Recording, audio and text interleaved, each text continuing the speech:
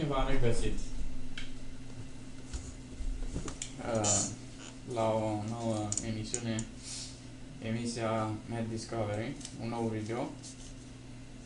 Uh, ne-am tot pus problema, până acum am făcut doar calcule. Calcule, calcule și iar calcule. Probabil că cei care m-ați urmărit până acum ați uh, fost expuși riscului de a vă plictisi. Uh, și atunci trebuie să schimbăm puțin uh, foaia cu niște chestiuni mai practice. Uh, în ce constau ele? E, e bine, ele constau în următoarele lucruri. Într-unul singur, de fapt. Eu vă prezint o problemă pe care voi va trebui uh, să o rezolvați cum știți voi. Asta, bineînțeles, dacă fixul meu îmi permite să scriu așa cum trebuie. Da. Avem o trupă de actori. Avem o trupă de actori de 10 oameni. Avem 4 bărbați,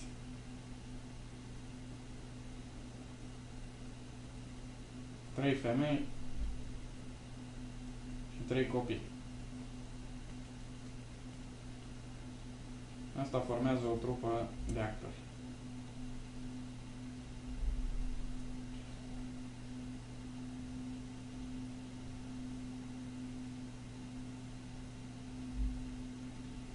În câte moduri putem face distribuția într-o piesă de teatru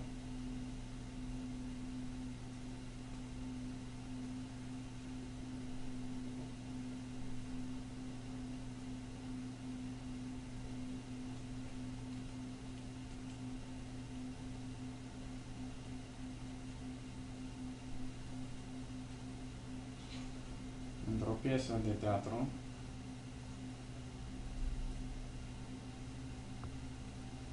Astfel încât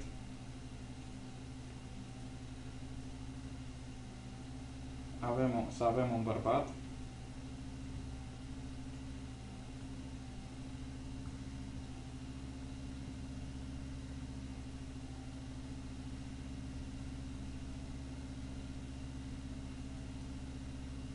femeie și un copil.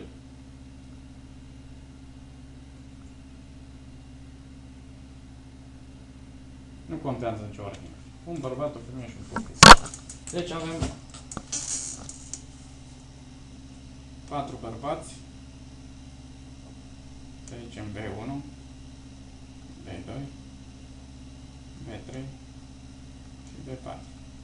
Trei femei, F1, F2, F3 și trei copii. C1, C2, C3. E, și din ăștia culeg câte unul de fiecare gen. Pe mine mă interesează câte moduri pot să realizez eu această distribuție. Oare în câte moduri aș putea o realiza?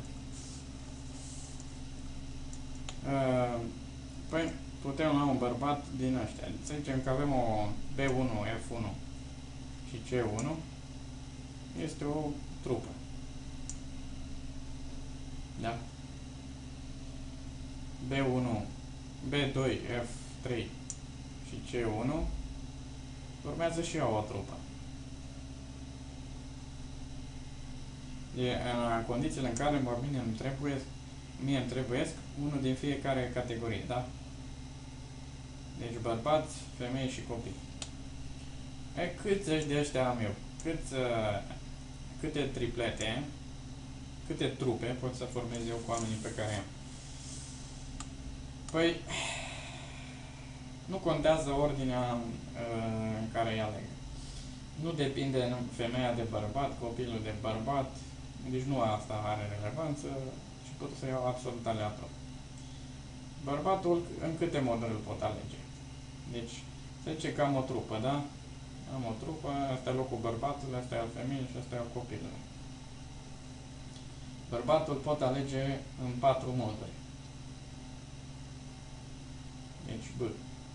F înseamnă femeie și C e copil. Femeia o pot alege în trei moduri. Iar copilul tot în trei moduri. Independent unul de celălalt, am 4 ori 3 ori 3, adică 36 de trupe posibile. Cum e posibil?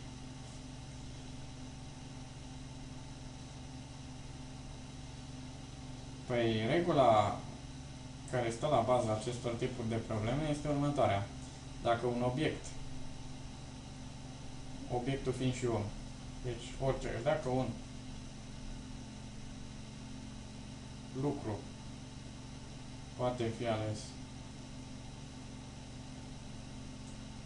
în uh, N moduri, un lucru, să zicem L1, poate fi ales în M moduri, M moduri, și altul în, în uh, uh, L2, altul L2 în N moduri, da? Atunci M și N, sau L1 și L2, poate fi ales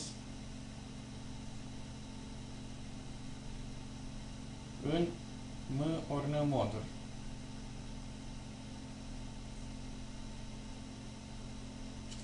Foarte frumos. Aici nu avem două obiecte, avem trei, și anume categoriile, copii. Trebuie să facem distinție. Deci, avem trei obiecte, deoarece ni se dau doar trei, copii, trei oameni la dispoziție cu care să lucrăm, da? Ca să formăm o trupă.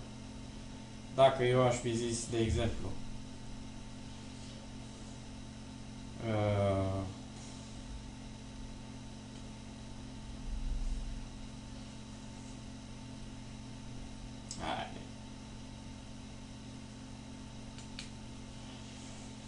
Dacă eu aș fi zis că vreau să formez o trupă din aceiași oameni, însă cu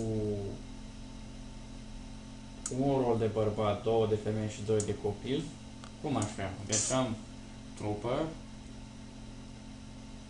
cu un rol de bărbat,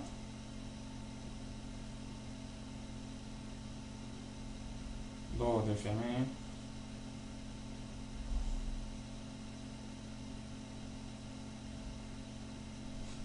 și două, două de copil. Atunci bărbatul îl puteam alege în patru moduri. Dar două de femeie, câte femei avem? Trei.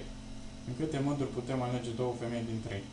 Deci avem femeia 1, femeia 2 și femeia 3. Păi putem lua femeia 1 și femeia 2, femeia 2 și femeia 3, sau femeia 1 și femeia 3. Deci avem 3 moduri în care putem lua două femei. Iar 2 de copil înseamnă tot așa. Dacă iau 3 copii, C1, C2, C3,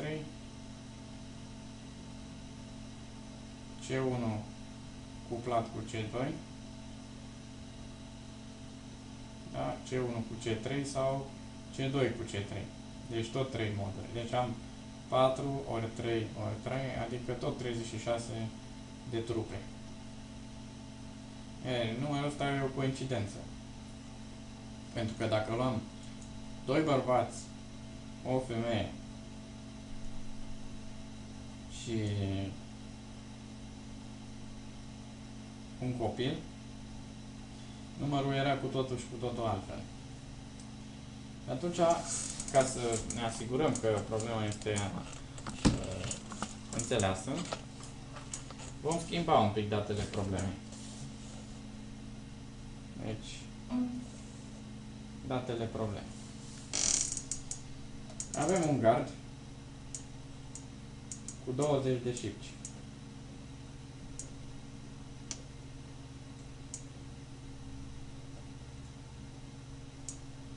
Sau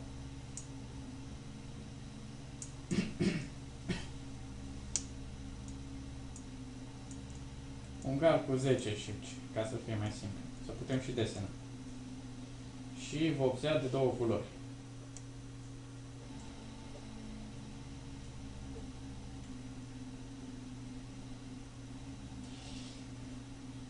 În câte moduri putem colora gardul.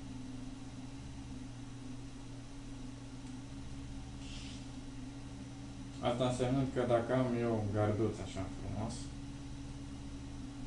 ia. ăsta e un gard, ăsta e un gard, 3, 4, 5, 6, 7, 8, 9 și 10. Ăsta e un gărduț. Cu 10 șici, să zicem, da? Uh,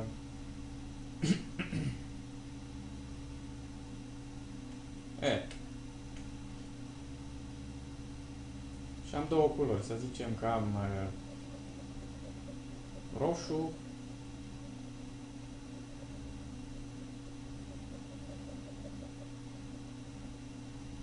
și mai am albastru.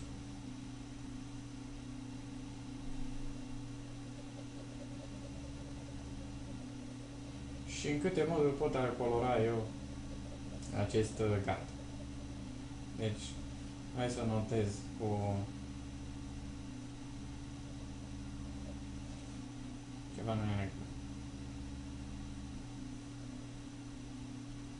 1, 2, 3, 4, 5, 6, 7, 8, 9, 10.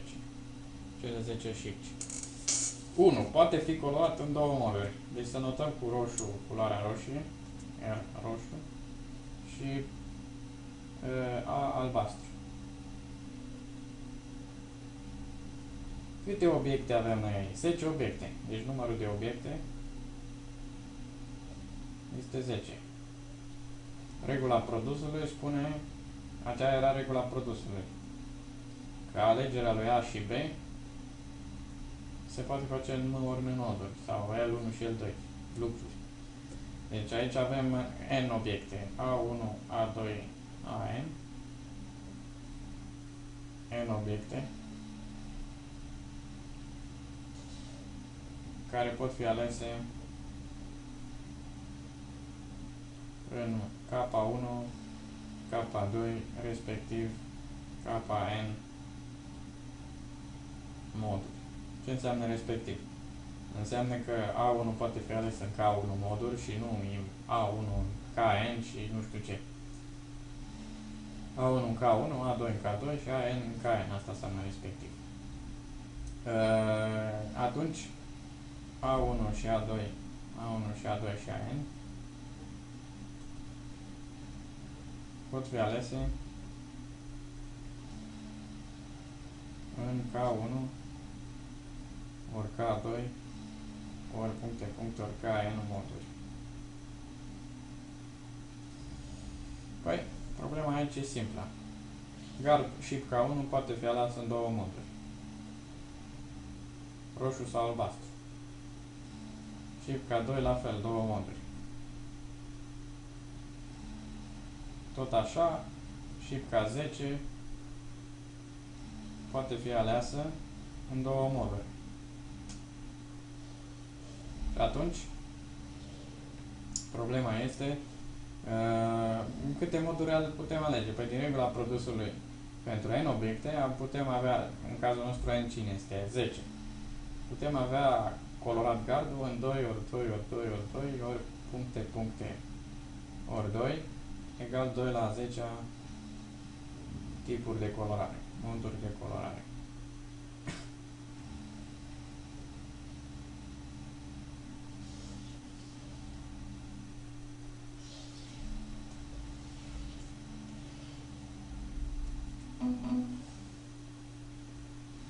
Da. Dar dacă problema noastră uh, spune așa, în câte moduri putem colora gardul, astfel încât oricare două șipci să aibă aceeași culoare. Deci, B. aceeași cerință, dar fiecare două, dar oricare două șipci vecine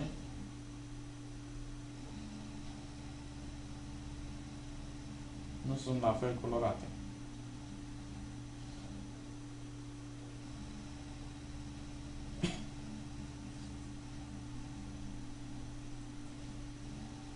E, dacă, deci aici se restrâng mult variantele. Ce înseamnă că două șipci nu sunt la fel colorate, două șipci vecine, da?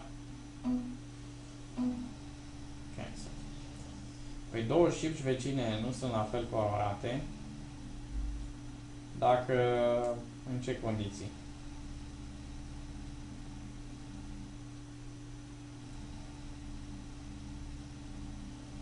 Dacă prima e roșie, a doua e albastră, a treia iară e roșie, a patra e albastră, a cincea e roșie, a șaptea și a noua. Deci totul depinde de cum colorăm prima. Dacă pe prima o colorăm în roșu, celelalte sunt determinate de uh, culoarea prime, pentru că a doua trebuie să fie albastră și atunci a treia trebuie să fie iar roșie. Și atunci din prima rezultă toate celelalte, ca un domino. Deci celelalte vor fi colorate în albastru. Da? Dacă prima e colorată în albastru, atunci a doua în roșu, și avem o altă configurație. Nu există a treia configurație, deci pentru condiția în care oricare două șipi să fie colorate diferit, avem o singură soluție. Deci, la B avem două variante, două configurații.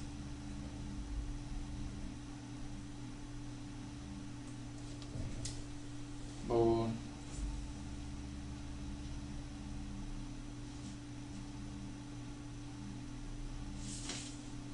Hai să vedem un alt tip de problemă de numărare mai frumos, care nu este absolut nicio regulă, doar inteligență. Un elev are de efectuat 400 de probleme într-o vacanță. Deci avem 400 oh, 400 de probleme în vacanță. Notați, da? Deci un elev are de efectuat 400 de probleme în vacanță. În prima zi are de efectuat o problemă. Mă rog, așa și-a propus el, da? În a doua zi vrea să fie mai vrea să fie mai bioi, face două probleme. În a n zi, e din ce în ce mai harnic, face n probleme. Și tot așa. Deci în prima o una, în a doua două probleme și tot așa. După câte zile rezolvă elevul tema?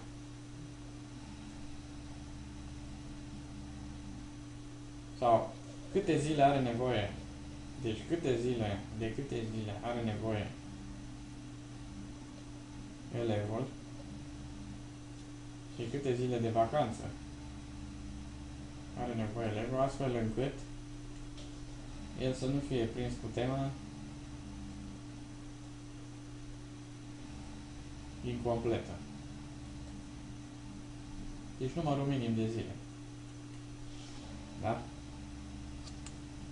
Păi, care este algoritmul total, deci trebuie să notăm numărul de probleme făcute până în capa zi. Numărul de probleme până în a capa zi. Păi în prima zi a făcut una, în a doua a făcut două, 3 plus puncte, puncte plus capa și trebuie să aflăm după câte zile a terminat tema pe care este formularea echivalentă? Află n minim astfel încât 1 plus 2 plus puncte, puncte plus n mai mare decât 400. Deci când depășește 400 și 1 plus 2 plus n minus 1 Da? Este mai mic decât 400. Totuși noi trebuie să aflăm doar cel mai mic n pentru care 1 plus 2 plus n mai mare ca 400. Păi 1 plus 2 plus n știm că e n ori n plus 1 pe 2. Formula lui Gauss. Mai mare decât 400. Echivalent cu n ori n plus 1 mai mare decât 800.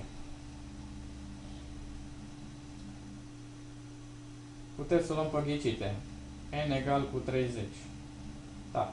30 ori 31 mai mare ca 800, dar e mult mai mare ca 800. Hai să încercăm altul. n egal cu 1 apropiat, 28.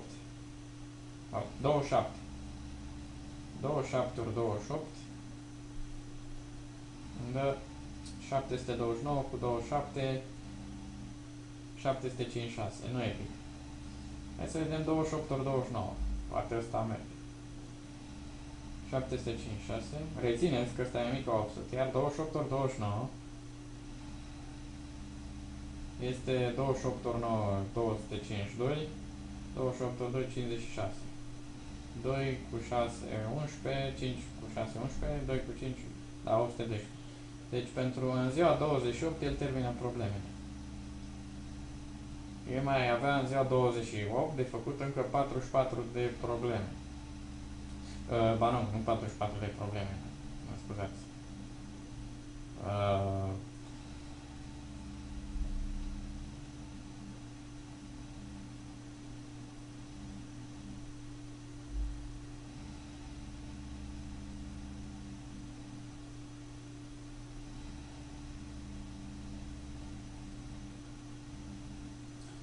nu 44. Uh, 22 de probleme. 29 de probleme, în fine. Da, deci în ziua, până în ziua 27 el rezolvase 756 împărțit la 2 uh, probleme. Adică cât vine asta? 378. Da, deci mai avea 22 de probleme de rezolvat. Da, deci și puteam pune și următorul enunț. Câte probleme a rezolvat în ultima zi?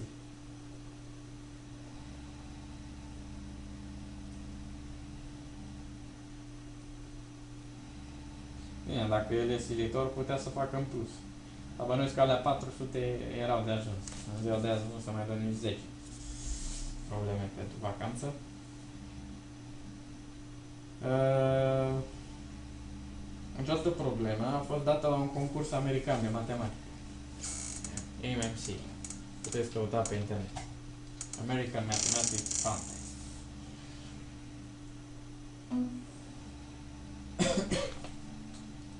Uh, chiar o să caut uh, expres această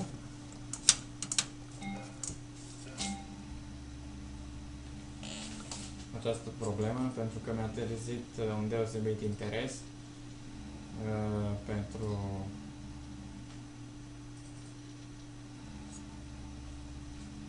contest problem book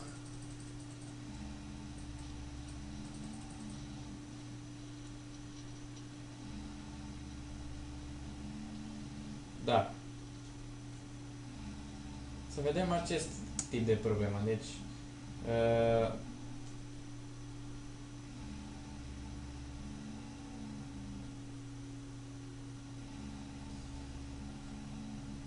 la un centru de caritate, deci scrie la un uh, centru de caritate,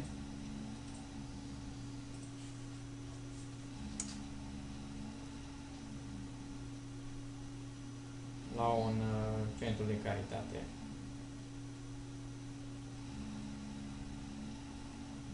Se strâng bilete. Da?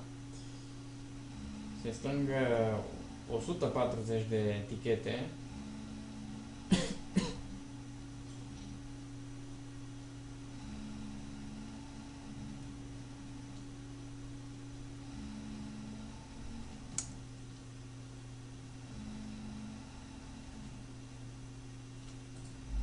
se strâng 2000 de, 2001 dolari din 140 de etichete.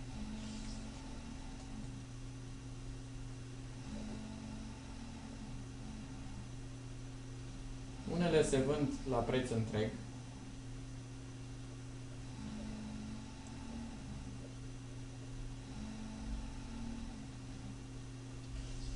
Altele la jumătate de preț.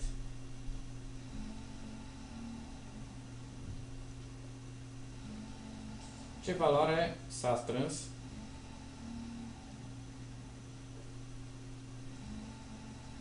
din tichetele cu preț întreg.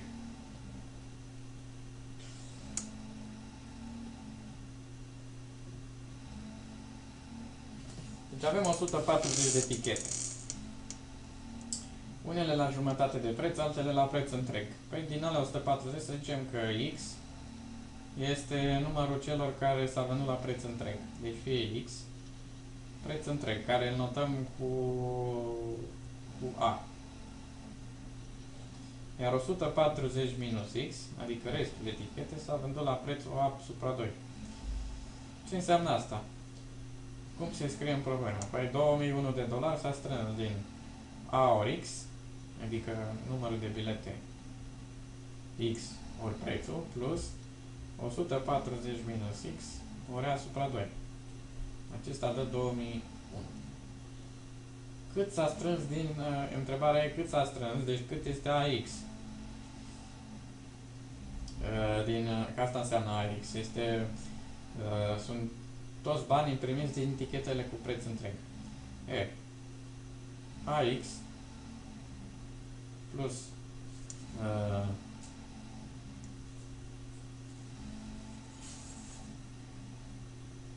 putem să mulțim cu un 2. 2ax plus 140 minus x ori a egal cu, cu 4002. Asta ce înseamnă? 2ax plus 140a minus ax este 4002. Adică ax plus 140 ori a este 4002. A, și prețul e număr întreg. Deci, A aparține Z. Dăm un A factor comun pe lângă x plus 140 egal 4002. X-ul e numărul de etichete, deci e un număr mai mare ca 0. Și atunci căutăm 4002, ce divizor are? Pe 4002 se împarte la 2, 2001, care se mai împarte la 3 și îmi dă 667. Acesta, nu știu, se împarte la ceva. La 3 nu se împarte, la 5 nu, 7 la 7 nu se împarte, la 9 evident, 11 nu se împarte, la 13 nu, 17 nu, 19 nu, 19 că nu știu. 667 împărțit la 19. Îmi dă 19, deci intră 3, 57, nu, nu se împarte. Și atunci, cu 19 nu, care ar mai fi? Cu 23 se împarte. E 23 ori 29. Acestea sunt valorile. Deci, uh, x plus 140 este cuprins între 140 și 280, pentru că x este mai mic, este între 0 și 140, el fiind numărul de etichete. Ce divizor am eu între 140 și, între 140 și 280? Ai lui 4002, asta mi interesează. Păi, 2 ori 3 nu, clar. 2 ori 23 nu. 2 ori 3 ori 23 nu e nici el. 2 ori 3 ori 29 e. Că e 6 ori 29. 6 ori 29. Asta înseamnă 174. Și altul nu mai găsim. Deci asta e singur. Deci, x plus 140 este 174. Deci x este 34.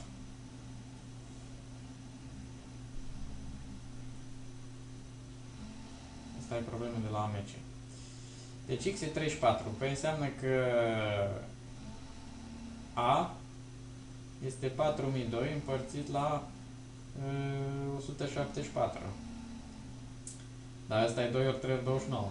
Deci înseamnă că e 20, 2 ori 3 ori 29 rămâne cu 23. Deci aia e 23. Și atunci AX, care prețul ce ne interesează, este 23 înmulțit cu câte etichete am? 34. Și asta e valoarea obținută de mine 23 ori 34 din dolari. Atâția dolari am făcut eu în uh, beneficiile umanității. Bun. Vă mulțumesc că m-ați ascultat și sper să ne mai revedem. Sper că v-a plăcut această lecție. La revedere!